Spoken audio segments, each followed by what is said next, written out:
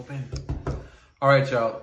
This is it. We are here. It is 5.35 a.m. We're waiting for the market to open. And yes, the squeeze is on. Nah, maybe, maybe. This this is the biggest maybe I've ever said, okay? I got a juice box here. We're holding because AMC is about to squeeze. This is about to be the mother, the mother of all squeezes. All right, man, take it easy, take it easy. All right, okay. Listen, Friday charts went crazy. We went up to $36 and that wasn't the squeeze, that was FOMO. The squeeze is on. That's a song. Listen, things that we want to look out for. The media this week is going to be going crazy. There's going to be FUD, fear, utter displacement. This is about changing lives, and we've got each other's back. Call Jason at Wall Street Bets and tell him we're here. The squeeze is on, maybe. Maybe the squeeze is on. Strong, maybe. All right, listen, I said maybe before, but this time I really mean it. This is not financial advice. This is more like financial mentoring, okay? But just be careful because you're gonna get rich. I'm gonna rent a Ferrari and then I'm gonna take it to downtown LA. I'm gonna rent a Ferrari and I'm gonna take it to downtown LA. And I'm gonna let them know that the squeeze is on.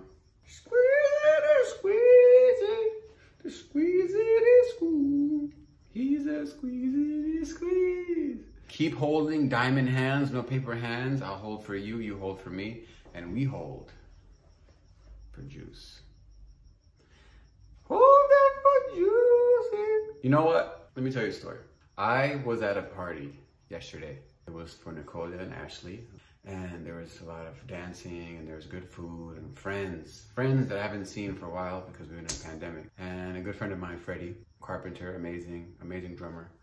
He said, that's gambling. And I said, you know what's gambling?